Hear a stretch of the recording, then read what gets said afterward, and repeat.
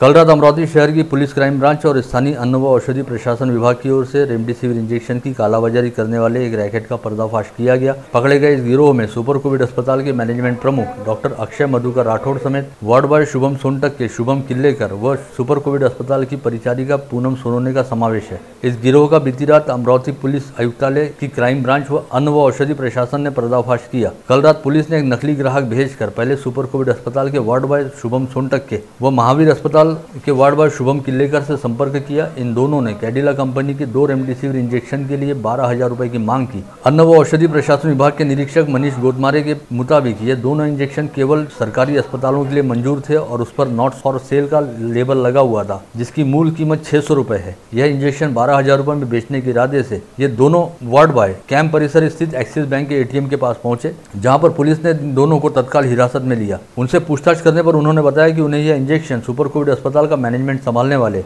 Doctor Akshay Madhukar Rathore द्वारा दिए गए हैं जिससे पुलिस ने अक्षय राठौड़ से संपर्क कर इंजेक्शन की मांग की। और डॉक्टर राठौड़ की बोलेरो गाड़ी की डिक्की से एक और इंजेक्शन बरामद किया गया। इस बारे में की गई पूछताछ पर डॉक्टर राठौड़ ने बताया कि उन्हें यह इंजेक्शन सुपर कोविड अस्पताल में कार्यरत नर्स पूनम भीमराव सोनोने द्वारा दिए गए। पश्चात पुलिस ने रात में ही पीडीएमसी अस्पताल के हॉस्टल में रहने वाली पूनम सोनोने को हिरासत में लिया और उसके पास से हेट्रो कंपनी का एक इंजेक्शन जब्त किया गया, जिसकी मूल कीमत तीन हज़ार पाँच सौ नब्बे रुपए, जो वह बारह हज़ार रुपए में बेचती थी। पूनम सोनोने को हिरासत में लेने के बाद पुलिस द्वारा की गई पूछताछ में उसने बताया की संजीवनी कोविड केयर सेंटर के लेबोरेटरी असिस्टेंट अनिल गजानन पिंजरकर ने उसे यह इंजेक्शन लाकर दिया था। पश्चात पुलिस ने पिंजरकर को अपनी हिरासत में लेते हुए उसके पास से चार इंजेक्शन जब्त किए और पुलिस द्वारा पुराना हाईवे स्थित संजीवनी कोविड केयर सेंटर पर छापा मारा गया तो वहाँ कार्यरत डॉक्टर पवन दत्तात्रेय मालसुरे के पास से पुलिस ने और दो इंजेक्शन बरामद किए। रात भर चली इस कार्रवाई के दौरान पुलिस ने रेमडेसिविर के कुल दस इंजेक्शन बरामद किए हैं, जिसमें सरकारी कोटे में सुपर कोविड अस्पताल को मिलने वाले इंजेक्शन का समावेश है।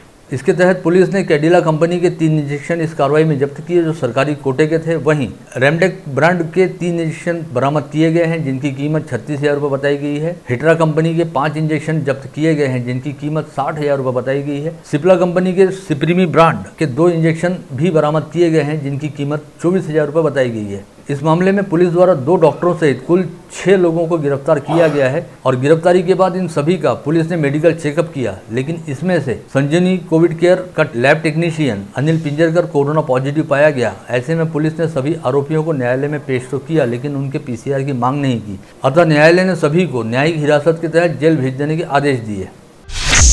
अन्न व औषधि प्रशासन विभाग के अनुसार कल रात भर चली इस कार्रवाई के दौरान हेट्रो कंपनी के कोवी फॉर्म नामक पाँच, सिप्ला कंपनी के सिप्रेमी नामक दो इंजेक्शन बरामद किए गए हैं। यह इंजेक्शन निजी कंपनी के रहने के कारण इसके विक्रेता यहाँ नियुक्त हैं। लेकिन किसी भी फार्मासिस्ट फर्म द्वारा किसी मेडिकल स्टोर को यह इंजेक्शन नहीं बेचा जा सकता, बल्कि ज़िले के निजी कोविड सेंटर में इलाज के हेतु भर्ती मरीजों की संख्या के अनुसार निजी कोविड सेंटरों द्वारा यह इंजेक्शन खरीदे जाते हैं और इस पर जिलाधीश कार्यालय का अंकुश रहता है। किसी एक फार्मास्यूटिकल कंपनी द्वारा दिन भर में किस कोविड सेंटर को कितने इंजेक्शन दिए गए, इसका समूचा रिकॉर्ड जिलाधीश कार्यालय को देना पड़ता है। अमरावती शहर के महावीर कॉम्प्लेक्स व गुलशन टावर में अधिकतर फार्मास्यूटिकल एजेंसियाँ कार्यरत हैं। हेट्रो कंपनी के अधिकृत विक्रेताओं में Shubham agency, Varu medical, Varu pharmaceutical व ईश्वर एजेंसी तथा सिप्ला कंपनी के अधिकृत विक्रेताओं में चंदा एजेंसीज, ईश्वर एजेंसीज व साई कृपा एजेंसीज तथा संजय ट्रेडर्स का समावेश है। इन आठों फार्मास्यूटिकल कंपनियों द्वारा संजीवनी कोविड केयर सेंटर को विगत आठ दिनों के दौरान किस कंपनी के रेमडेसिविर इंजेक्शन का कितना स्टॉक दिया गया, इसकी जाँच की जाएगी। यहाँ सबसे उल्लेखनीय बात यह है की सेलिब्रेशन हॉल में संजीवनी नामक कोविड केयर सेंटर को अनुमति दी गई है, जहाँ पर रेमडेसिविर इंजेक्शन अथवा ऑक्सीजन का प्रयोग करने की अनुमति ही नहीं होती।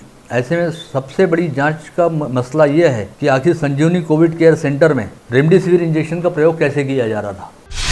सूत्रों से मिली जानकारी के मुताबिक, दो माह पहले ही रेमडेसिविर इंजेक्शन की कालाबाजारी को लेकर स्वास्थ्य एवं जिला प्रशासन को कुछ संदेह हो चुका था। यही वजह है कि प्रयोग में लाई जा चुकी रेमडेसिविर इंजेक्शन के खाली वॉयल फार्मेसी स्टोर में वापस लौटाने का नियम लागू किया गया था। साथ ही विगत नौ मई को एक वार्ड बॉय को संबंधित अस्पताल द्वारा अपनी सेवा से बर्खास्त किया गया था और एक वार्ड बॉय विगत दो माह से छुट्टी पर चल रहा था। इसके बावजूद, इन लोगों ने चोरी छिपे तरीके से अपने संपर्कों एवं जान पहचान का फ़ायदा उठाते हुए रेमडेसिविर इंजेक्शन की कालाबाजारी करनी शुरू की थी।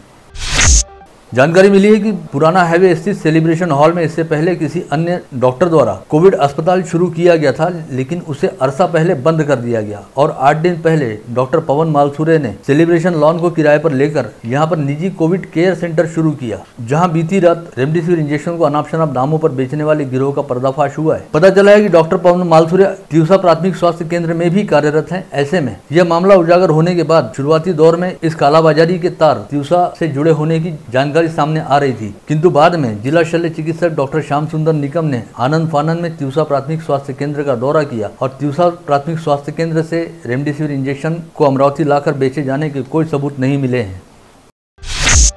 गत रोज स्थानीय कोविड अस्पतालों में मरीजों हेतु उपलब्ध कराए जाने वाले रेमडेसिविर इंजेक्शन के स्टॉक में से कुछ इंजेक्शन सुपर कोविड अस्पताल के वार्ड बॉय द्वारा अपने कुछ साथियों के साथ बाहर ले जाकर बेचने और उनकी बेहद ऊँचे दामों पर कालाबाजारी करने का मामला सामने आते ही जिलाधीश शैलेश नवाल ने इस मामले को बेहद गंभीरता से लिया है और सुपर कोविड अस्पताल सहित ज़िले में कोविड संक्रमित मरीजों का इलाज कर रहे सभी सरकारी कोविड अस्पतालों व हेल्थ केयर सेंटरों की जाँच करने का आदेश जारी करते हुए कहा है कि इस मामले में नीचे से ऊपर तक जो भी व्यक्ति दोषी पाया जाएगा, उसके खिलाफ सख्त व कड़ी कार्रवाई की जाएगी। इसके साथ ही जिलाधीश नवाल ने इस मामले में जाँच हेतु एक समिति का गठन किया है। जिसमें इरविन अस्पताल के आरएमओ, दो फार्मासिस्ट तथा दो क्लरिकल स्टाफ का समावेश है। इस समिति को अपनी जाँच पूरी करते हुए जल्द से जल्द अपनी रिपोर्ट पेश करने का निर्देश दिया गया है। इस समिति द्वारा सुपर कोविड अस्पताल सहित सभी प्राथमिक स्वास्थ्य केंद्रों की जाँच करते हुए रेमडेसिविर इंजेक्शन के आवंटन व वितरण का ऑडिट शुरू किया जाएगा।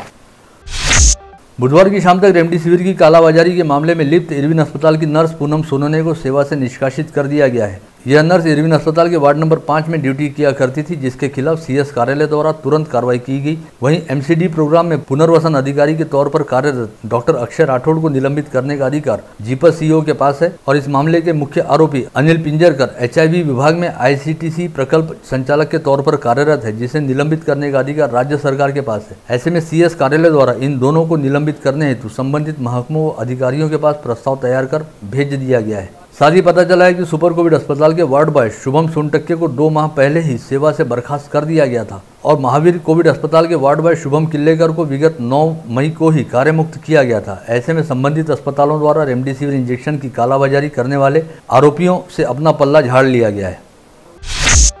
वहीं इस पूरे मामले को लेकर अपनी प्रतिक्रिया देते हुए जिला पालक मंत्री यशोमती ठाकुर ने कहा कि महामारी काल के दौरान मरीजों एवं आम नागरिकों की जान के साथ खिलवाड़ करने वाले किसी भी व्यक्ति को बख्शा नहीं जाएगा और उनके खिलाफ कड़ी से कड़ी कार्रवाई की जाएगी।